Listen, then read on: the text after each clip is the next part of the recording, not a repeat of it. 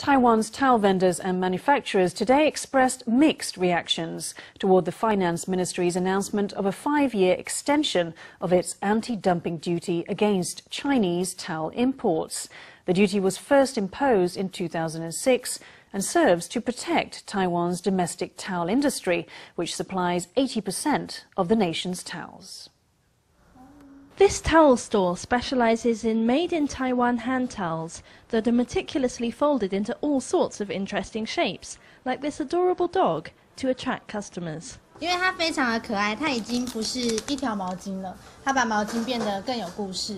造型很好看，然后打开也很好用。Starting in 2006, the central government began imposing anti-dumping duties against towel imports from China in order to protect the domestic towel market. Just last Thursday, the Finance Ministry announced that it would be extending the duty for another five years.